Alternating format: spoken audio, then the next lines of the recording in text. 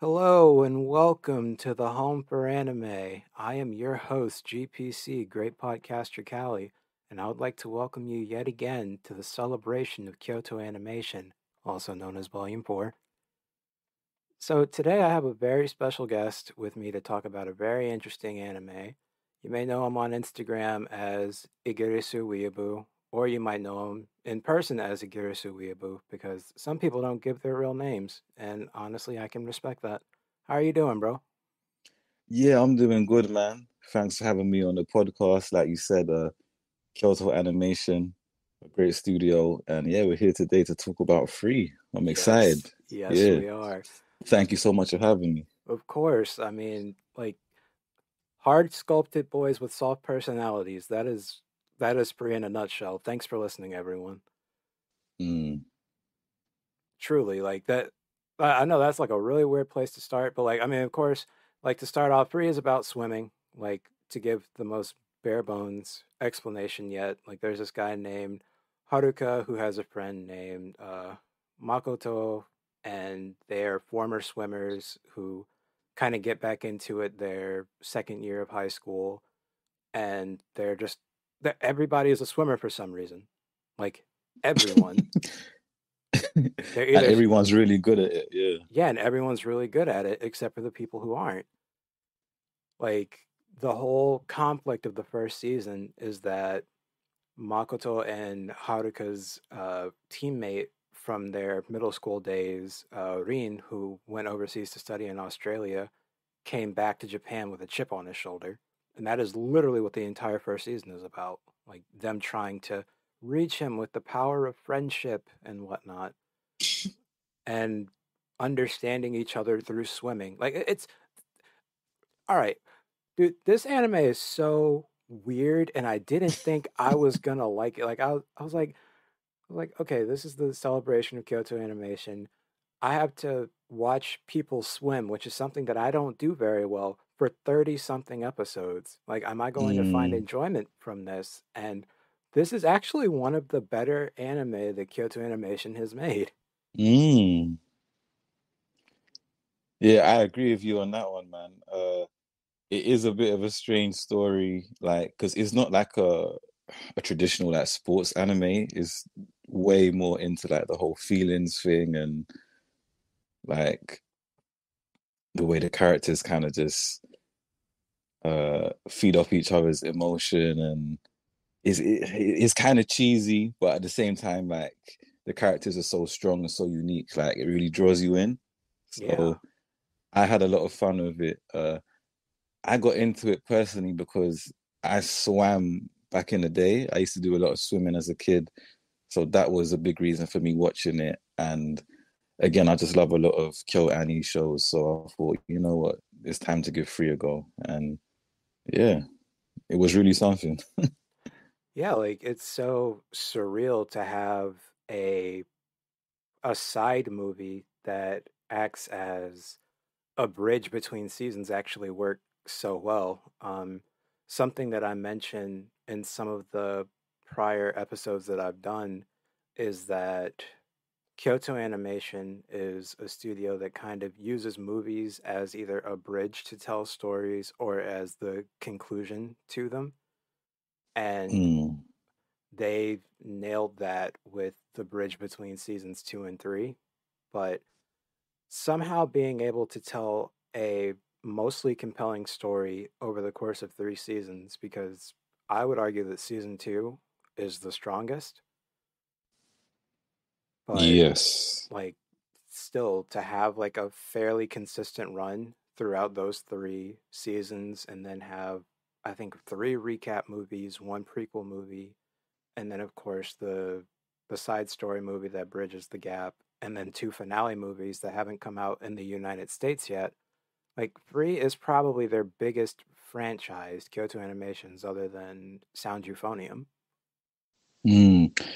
It's crazy that Free ran for like nearly 10 years as well. It started like what 2013, I believe. So it was like over nine years of Yeah, content in yeah, Japan. Like it's a really big series. Like it's it's crazy because a lot of KyoAni's other stuff is like, you know, not not as long. So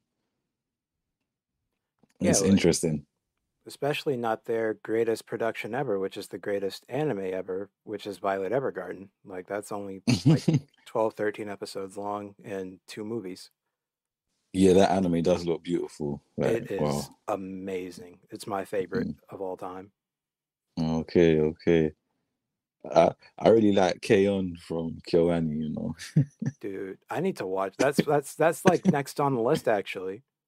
Oh, that's great. You're gonna love it. You're gonna love it. Yeah.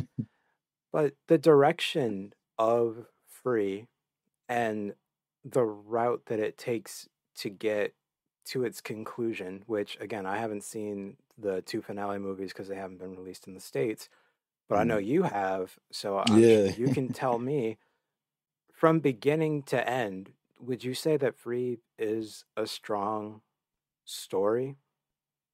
Hundred percent. Um, quick shout out to all the anime. The the UK's like uh, provider for bringing anime over here, and yeah, surprisingly, we got the final concluding movies uh in cinemas over here in theaters for a very limited release. Crazy before America, so Yeah. very very strange. I was able to see that. Uh, yeah, the thing about Free, like you said, it starts off with um uh Har- Haruka and Rin and you know the whole him being like a not a bad guy but he's the rival school swim, swim club's uh lead and all that kind of stuff. So it starts off like a lot of feelings but by the end like the conclusion's really good. And e- even up to season three it's like it's not just about quote unquote like you know hot guys but and swimming there's Mhm. so much more to it and it's like the whole story about uh not knowing what you want to do with your future and just kind of finding that out through swimming and through friends seeing what your friends are doing like at one point makoto wants to you know become a swim teacher he, doesn't want to go for like a um The competitive swimming route. exactly don't he doesn't want to be competitive Mhm. uh, Rin does and stuff. Haruka feels lost, and you know, it, it it speaks volumes. Not not just about swimming. It's like it just kind of anyone can relate to it on that personal level. Like, what do you want to do with your life? And it's just so nice just to see the routes that they take. Like, Mhm. mm. so yeah, and it's, it starts off so small. Like you know, uh, these uh, young friends, the local school swimming club and it just becomes this grand thing over like three seasons and the concluding two movies and like you said all the uh, bridge movies and prequel movie and yeah it ran for nine years in japan that is it's like a low-key series but it's the, the fandom's there like it's crazy like even Yeah. when i went to see it in theaters there was like two chicks in uh you know you know the the squad jackets from like season one Oh, like, the Iwatobi uh, swim Yeah, club the- jackets. yeah the Iwatobi's uh, swim club jackets yeah and like oh my god, they had those on. Yeah, and and like they, they had like two little plushies of Rin and uh, Haruka. That's so cute. I know, right? Yeah, it was so nice to see him there. So, yeah, not not the biggest series compared to like you know the super popular shonen, but Free's dope. It told a really cool story over like you know a long time from something that you don't usually see from KyoAni. But yeah, I was happy with it, real happy with it. You know. and it's so cool that Kyoto Animation is able to take these seemingly random aspects of life, like not in like a slice of life way, but some of their shows, like Tsurune is about Kyudo, um, Sound Euphonium is about um, like band and orchestra. Violet Mm. Evergarden is about writing letters. Like, who would have thought that any of us would give a crap about dudes swimming? And like what what comes with that which i'm glad that you mentioned the aimlessness and the direction was and like the directions that everyone was like wondering where they should go in because that's what made season two so good to me because like season one was just it's like uh excuse the pun but like it's just getting your feet wet Mm. And you think okay like you know they have their whole futures ahead of them with at the end of season one so everyone's friends, everyone can pursue their dreams, but season two is like, what are those dreams? Mm-hmm. And in reality, like, what are our dreams? Like that that really put into perspective. I'm 25 years old and I don't know what to do still. Mm. Like, what is my ambition? You know? Yeah, I know that on the surface level, free just seems like a lot of fan service, especially for girls. Like they think the guys are super hot and stuff, but like underneath that, there's so much complexity to the story. Like I can't remember if it's season three or a movie, but there's like when when Haruka goes with Rin and meets his foster family, not foster family, so his uh you know the family that puts him up in Australia. Yeah, his host parents. That's season two. Thank you, his host parents. Yeah, okay. Again, season two, the really good season. Mm-hmm. Like, just all these little subtle moments of like that just feel so real. You know, like just away from swimming, just uh, you know, like those moments in the show are just like really cool. Like the Mhm. moments away from swimming, like yeah, it, it is dope. It is dope. Yeah, because I just kept thinking, like, okay, this, like you said, it's fan servicey. I mean, they're they're unashamedly like flaunting the fan service to the point where they're comedic about it. Yeah. Like having um Rin's younger sister Gou, who is enamored with muscles, being the comedic effect, like, yeah, we know why you probably came here, but that's not what you're going to leave with. I mean, you're going to leave with the muscles, but there's going to be so much more that you're going to be thinking about by the time you are done with any sitting of free. Yeah, I feel like for the girls that got into it, for like the cute guys, like it, it becomes more about uh their personality and like I can see how they would think they're kind of cute, you know, and like care for them. It's especially Harry. like like Haru's great, like you know, even though even though he's super quiet, I, I do like him.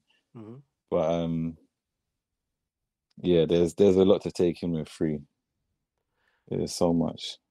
And you can just feel the intensity ramp up with each um, with each season. So season one, you know, you feel like is very kind of like it, it's on a friendship basis. That's what we're dealing with.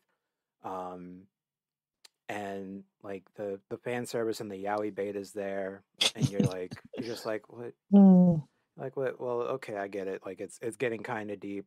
But then season two, like we've been kind of discussing, like you know you get into the the feeling of purpose and desire, dreams, where to go next, like, and then to have the ambition to for Haruka and Rin to want to go to the world stage. Mm. Oh, I think my biggest gripe is that season three kind of backtracks on that. Season three is where they bring in Ikuya, right? The Mhm. green haired kid. hmm Mm. I feel like season three kind of they wanted just to not stretch it out, but like more characters, maybe just make a little more money off the franchise, kind of, you know? Because like you said, season two was really getting into the nitty gritty of the futures, and then they kind of did backtrack somewhat in season three. Yeah. It, season three was still dope though, and then I guess it was just the time between the conclusion and then season two because doesn't season three end with them like again wanting to like uh train in Sydney or something or So what happens at the end of season three is um they're doing like the qualifiers for the world stage. yeah yeah yeah yeah Yeah. yeah, But it's so it, it's jarring almost because I by season two I'm like, okay, Free went from being good to being amazing. And then in season three, they spend half of the season on that um like the relationship between Haru and Ikuya. Ikuya, who wasn't really in it the previous two seasons as well so Exactly. Like they are just adding more trauma to Haru's backstory. to shake him up, but like for him to get over it mid-season and then be faced with something else, like we could have just had more friendly competition and then like the whole confidence shaking thing because his confidence gets shaken every season by something new. Mm. So Yeah, he's he's very fragile, he's Harry. Yeah. fragile, Mm. like, and that's honestly something else that I appreciate. I'll get to that in a moment, but like to have him be shaken up twice in one season, first by the friendship thing and then by how big the world stage actually is, especially when he gets owned by Albert. Yeah, that's in season three, right? Yeah, that's like toward the end of season three, and he's like trying Mm. to regain his footing and regain his confidence. But I'm glad that you mentioned the fragility of Haru because you can say that about almost every male character All, Free. all of them. Yeah. And I think that that is it's so interesting because mind you, I'm I we we are men. Like we are supposed to have like a harder time accepting this, but like the whole fragile masculinity thing that Mm. like that we well that people say that we carry um free deconstructs that so well. Like Mm. you have like like I said, Makoto is like the softest out of everyone there, but he's just like so pleasant. But he has his fears, his anxieties, and we break those down. Nagisa and Rei, who low key annoy me, and I was like, why are they still in the show? Past Oh. past season past season two.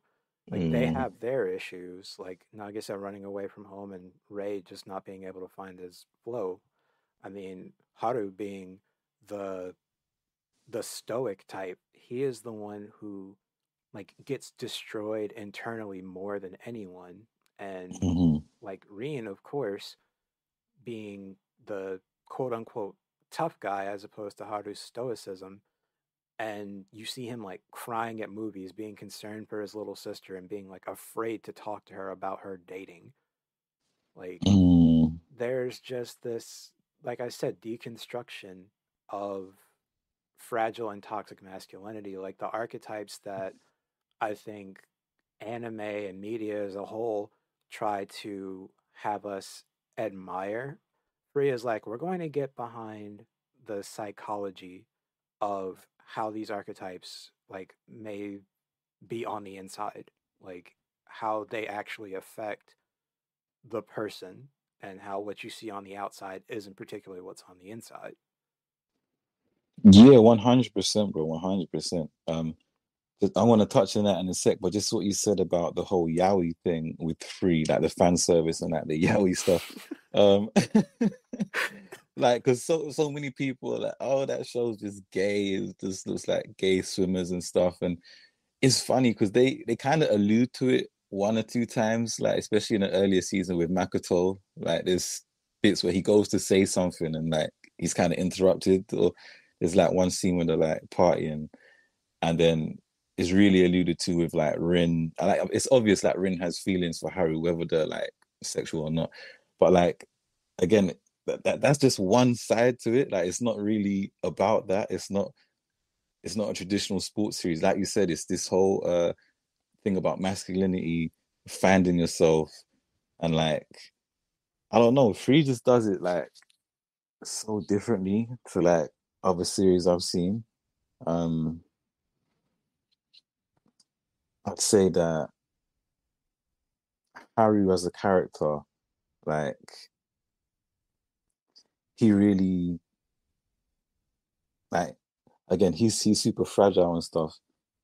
But again, just seeing him like find his way in in in the show that is is really dope. Like it's so dope. I feel like um Harry and Rin, the stories like I don't know that it's it, it doesn't give me like full on yaoi vibes or anything, but I feel like the way that they find themselves in free is just done a lot better than a lot of other shows. Like the Mhm. humanity of the characters, like it's just so easy to relate to all of them. Like more so than other anime. Yeah, for me? sure. Yeah. Like like I said earlier, they they kind of lure you in like the whole um uh, even the ED, like the first ED is a perfect example. Like they are literally in like the um like Oh, when they're dancing yeah, when they're dancing. yeah. Yeah. And then they like actually do something with that in the um the movie uh Take Your Marks, the bridge movie. But Mm. like they lure you in with the fan service. They lure you in with like there there is a bit of um yaoi bait like when um Haru drowns and like Makoto is like about to give him mouth to mouth or no, no. Haru was about to give Makoto mouth to mouth, I think. One or the other, because one of them had drowned and like they were making like this big thing out of it and I'm like, why are you hesitating? Your friend is about to die. Mm. give him the kiss of I life. mm. I think a lot of them are straight as well. Like they allude to like this whole gay thing. It's funny, but like yeah. And we're getting back to season one. Season one, I feel like it's really introducing you to the characters. Like, because I've seen a few girls on Instagram like rewatch it and they're like, oh, it's, it's not as good as I remember, why are they crying so much? They're crying all the time. But I was just into it, bro. Like all that emotion and stuff. Like I rocked with it, man. It was just, it was kind of different. Like it was nice. So yeah, season one's definitely just introducing you all to the characters and stuff. And then when it starts getting serious about their futures and that, like, yes, I did because I didn't expect that from Free. Like, I don't know Yeah, about you, but I it's just like went in thinking, cool. subversive. Yeah, like I was just thought cool that it's gonna be about swimming and whatnot. But yeah, when it really started to get into like the whole futures and like again seeing so many places in the real world, like when you go to the pool in Sydney, I think that's a real place. Like I've seen pictures online of like uh, shots from the anime and the real life location. So Mhm, it, it it just feels really real. Like I love anime that's set in our world, you know. And mhm, again, just doing so much real shit like this, like going from college, uh, sorry, uh, high school swimming to you know the world stage and stuff. mhm. And again, like Haru's always been like very stoic, like just wanting to swim, not really wanting to swim for glory or anything like that. And Rin almost begging him at the end of one season, like, bro, like, I want you to swim on the world stage with me. Like, why are you always so so blank? Like, why do you have such a blank expression all the time? Like, you know, like this is your future now. Come on and just like, like I've I've had similar pressures like that in life too. And it's like, yeah, damn, like, you know, I mean, I'm not talented like that to be, you know, swimming for Olympics or some shit, but it's it's dope still. And I I've, I sympathize with Harry as well. Like, you know, like when he kind of just stops swimming sometimes and it's like he, yeah, he's too scared or he just hasn't figured shit out yet. But yeah, it's, they, they feel so real, the characters in this show. Like they feel so human.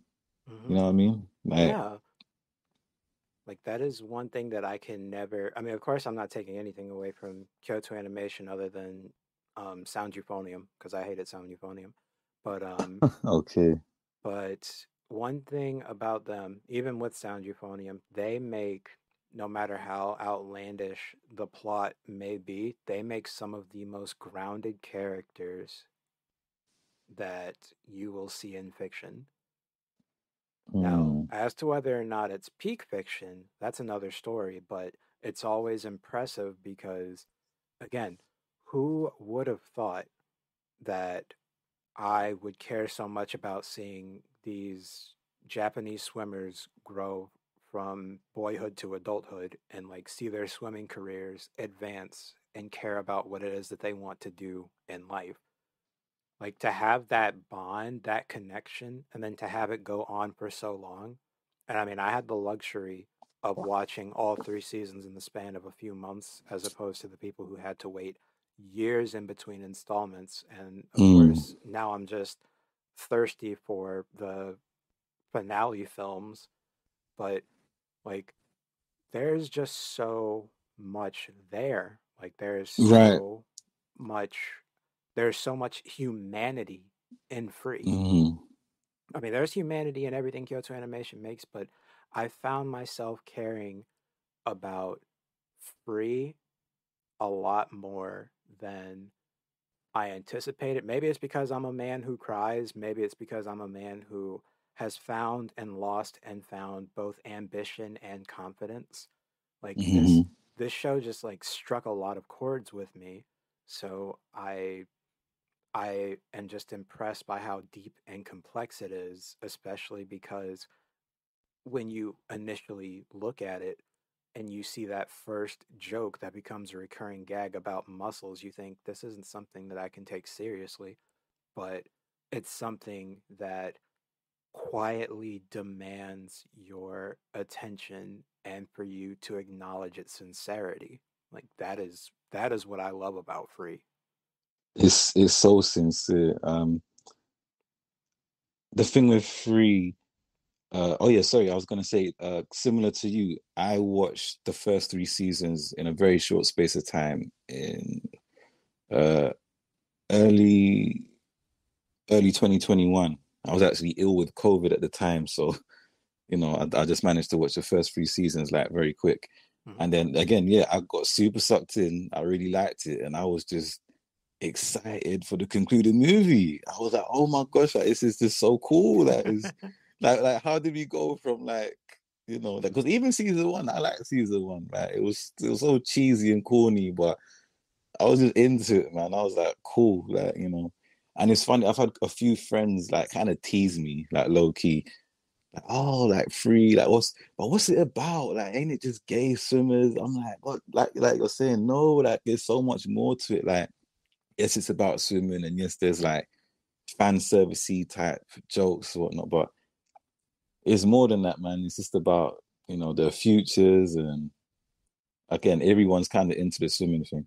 I do think with season three, it was low key to again introduce Albert and like line up the concluding movies. And I think they just wanted to just bring in more characters and it's done really well in the sense that all the characters are kind of on a similar journey, like through swimming, obviously. hmm And we just get so much more insight into their lives. Like, because with Ikuya, his older brother wants to swim. His, his older brother used to swim as well, and it's, it, the way it's done is really cool because, uh, like, obviously swimming is a sport, but the way swimming is is not like uh, you know, football, soccer, basketball. It's not like a team sport. So because I used to swim, right? I used to do a lot of swimming in high schools. It's very boring. Like training is just kind of up and down. Uh, Yeah, I kind of hate it. It's just up and down, up and down.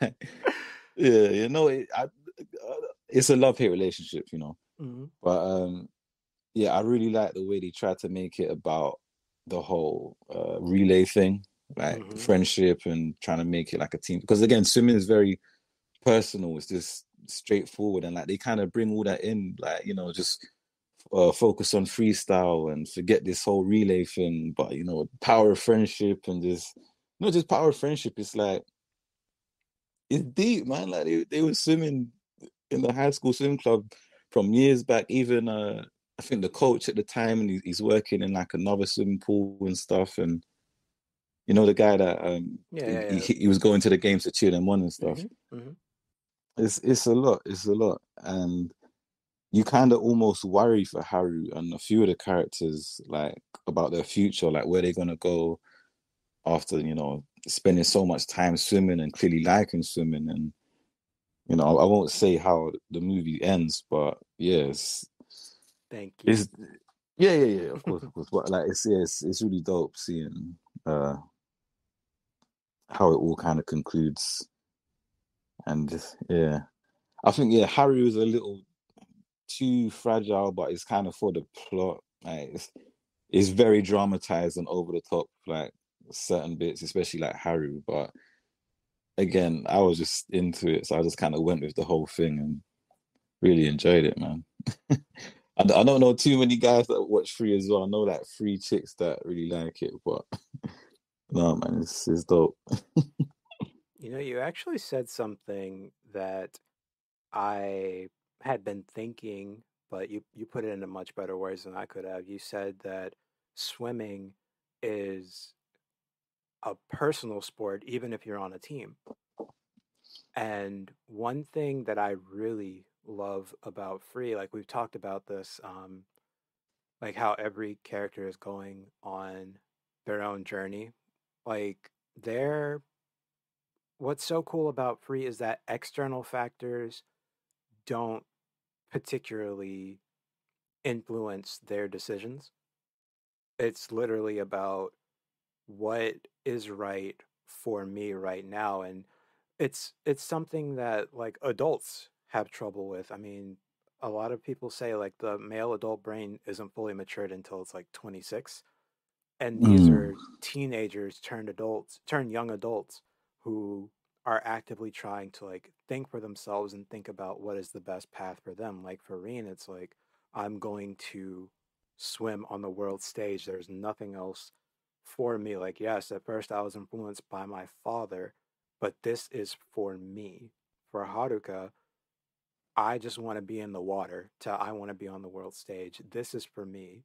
For Makoto, I want to be a professional trainer.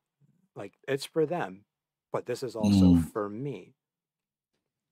And it's not like a it's not like a selfish, self-centered thing that they have going on, but it is purely like staying true to yourself and acting out of your own best self-interest without Mm. doing anything to slight somebody else and that is just like not stepping on someone's toes while trying to make a better life for yourself at whatever age you're at is so hard to do and Mm. of course you know some things come easy some things come hard when it comes to anime characters while a lot of things are hard for you know people in real life but they just navigate that so well that line between like passion and responsibility that all of them have to themselves. Everyone except for Haru. Everyone except for Haru. Uh, Haru just Haru is just he just gets upset else. over anything. Yeah, the um the bit where Makoto tells Haru that he decides to not go like he goes to like he wants to go to a normal college and like become a swim teacher and stuff and I I could relate to that kind of because it was just so crushing for Haruka to just see all of his friends making decisions and like getting on with their lives, you know, because I've been in similar positions before where it's like, you know, you kind of just see people doing things, or I'm going to do this at college, I'm going to do that. And, you know, when you kind of haven't made that choice yet, and, Mhm. you know, I, I could uh, sympathize with Haru. I mean, he, oh, he over dramatized it, but like, so yeah, it's, it's interesting just, you know, just again, seeing everybody kind of take their different path. Makoto's like, well, look, I'm not a great swimmer like you, not as great as you, so I'm going to do this but you know maybe you should do that. And so many different people can give you advice but again it, the decision lies with you and it's so hard to make these life-changing decisions sometimes you know like what job am i going to get into? What am i going to study for? So again just kind of uh riding that same feeling with the characters in free is oh it's that it's intense. It gets me like all worked up and just like damn you know like i kind of feel it for them. Um also Rin, uh he had a stumble early in the show as well because when he went to Sydney initially it was because he was really good and you know he was somewhat big-headed of his swimming ability. And when he got there everyone was low-key better than him so he was like that was really hard to deal with and again uh being like the only Japanese kid there uh having to learn English and all this stuff so because even even when I saw Free, I thought like this show looks like it's about swimming, but it doesn't look like a, a traditional sports anime, which again is more heavily centered around the actual sport, i.e., you know, uh, Blue Lock, what's hot right now, or Slam Dunk. You know what I mean? Like those Yeah. series are very much about the actual sport, and Yeah. but yeah, this didn't because I know swimming. I'm like swimming is up and down, so you swim up and down, up and down. So the way that they made this so centered around swimming and all their lives and that. Mwah, like chef's kiss. This was done really well. Yeah, Really well. Like the first two seasons, managing its characters so well before fumbling slightly in the third season. Yeah, I'd I'd agree. A slight fumble, but But it's it's just bringing in so many more characters with yeah, season three. and I take it that's to make the move the finale movies even better. The finale movies are really good, in my opinion. Yeah, they're they're really good. So they had to add those characters then. yeah, because it makes it feel more realistic. hmm In some, I don't want to say somewhat unrealistic because it's like there's so many guys that's good at swimming, but I mean, cool. But like, it makes it more realistic in a sense. It's not just Haru and his high school friends. There's like so many other people, and like you know the coach that's training uh, Haruka, and you know there's there's there's a lot that's going on there. Um, we we haven't really mentioned as I, I was going back to say as as and Sosuke, but so, so, Sosuke, you know, you know Rin's friend, the guy that gets the shoulder the shoulder injury. Sosuke is He, kind of a jerk. I I did not want to talk about Sosuke. he is a jerk. He is a jerk, but e- even he kind of comes around though. Like, Yeah, he comes yeah, he comes. around, but like He he he's part of what made season two like like he he made he uh, he presented an obstacle for Haru, but like Haru was his own biggest obstacle in season two. So I'm like like it was kind of like a fake out like what they did with season three, but like it was more natural in season two. But like yeah, Mm, Sosuke yes, yes, yes. Sosuke definitely played a hand in Haru's development, um, and really kind of tested his dedication to swimming and his relationship with Rin to an extent. So Mm, I thought, yeah, like Sosuke, I mean, he's not a he's a well-written character, and I really do like understand what he goes through, especially as the series progresses. But I, at first, I really did not like him, and his like he yeah, of course. Me too. Me too. like he's more stoic than Haru, and that just like he, he almost seems boring from time to time. So I just Yeah, yeah. He don't say too much. I think again, that's just not just not just for this reason, but like chicks would find that shit hot or something. Like you know, hmm he's just a cool character that don't really say much, and he's kind of tall and big. But just to touch on something you said, bro, um, hmm Haru was his biggest obstacle, like his own biggest obstacle, not hmm not Sosuke.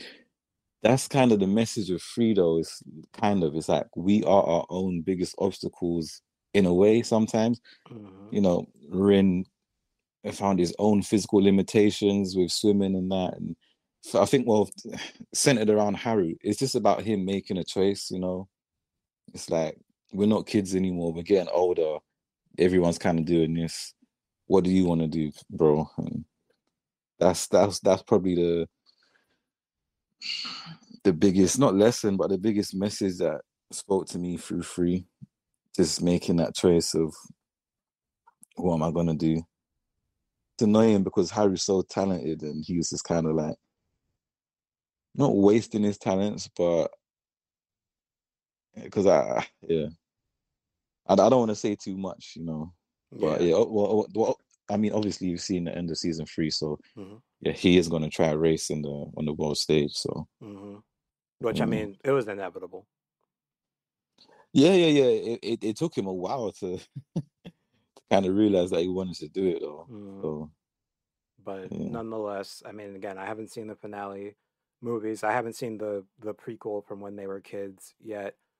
Um, but overall, I am very satisfied with how Free ran for the most part. Like, I think they did a really great job, yeah, hundred percent. Me too, man. especially because there was actually no source material for Free, if I'm not mistaken. Correct. I think with well, yeah, a lot of KyoAni shows, they're all like originals. Like, yeah. A lot of them actually, like, um, a lot of them actually come from light novels. Oh, it's my bad. Sorry. Yeah, Yeah, like but uh Haruhi, um, Love Chunibyo and Other Delusions, Violet Evergarden, Sound Euphonium, uh Tsurune. I know like a fair amount of them actually came from light novels, but Free, came out of a promo that they made, if I'm not mistaken, and that promo just ended up turning into a show. Okay. Yeah. It's really nice when you see a studio do like their own thing and it and it works. Right? Mhm. And what's so cool about KyoAni is that a lot of the light novels that they adapt are ones that they publish. Mm, okay. So I mean, it's all Kyoto Animation original work, but um, it's like from Kyoto Animation to Kyoto Animation for fans. Yeah. That's nice. That's nice that they do that. hmm I think even K-On was from manga as well, actually, or something like you know, that the four Koma manga. I think. I believe so. I know that there was a convention a while ago that was selling the full K-On omnibus. Oh wow, cool.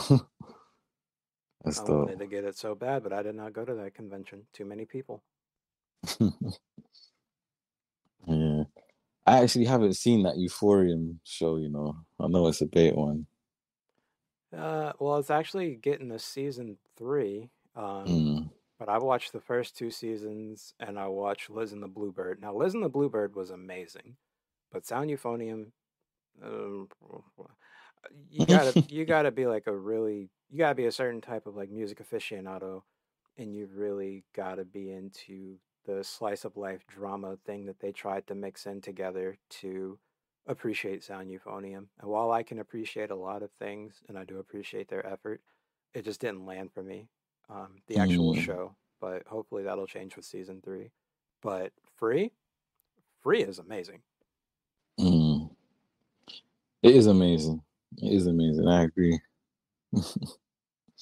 So let me ask you, do you have anything else that you want to say about free, or do you feel like we've covered pretty much all the spoiler-free ground that we can cover? I feel like we've covered pretty much all the spoiler free ground. At one point, you said that you didn't like Rei and, and Nagisa. Um, They just bo- they're annoying and they kind of bore me. uh, feel like season one, they were important.